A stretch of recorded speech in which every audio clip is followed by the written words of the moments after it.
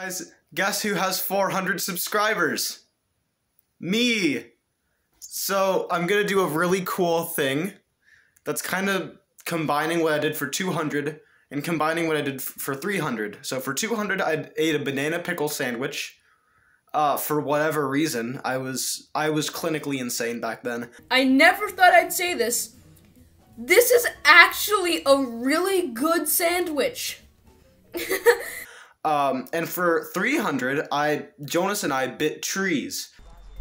Yes, Jonas, bite. and now bite a, a stick so that the viewers can see. it's not coming off. That's what she said. So that's kind of what I'm gonna do today. I'm gonna go outside, get a branch, and uh, do something with a pickle, and go from there. So it's definitely gonna be interesting for sure. Yup.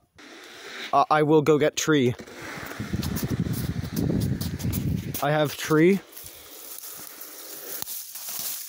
I have acquired tree. We will go back. Do you guys like my pajamas? We'll go to room. I forgot my tree branch thingies downstairs. There we go.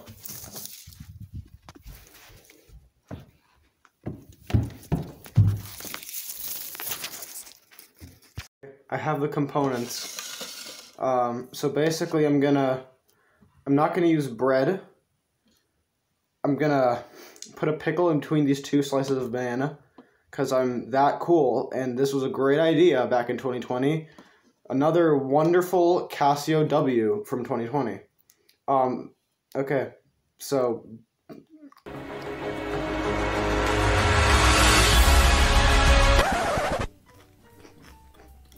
It has so many textures. I have an issue with things that are long this is horrific. and elongated. It means the same thing. Okay. Okay. That is absolutely repulsive. Um, to honor the memory of Jonas, uh, to bite this because I'm Canadian and apparently Canadians bite trees. I'll try this one. Cringe. Okay, I, I bit a Wait, tree. you didn't bite anything around here, did you? I bit a tree.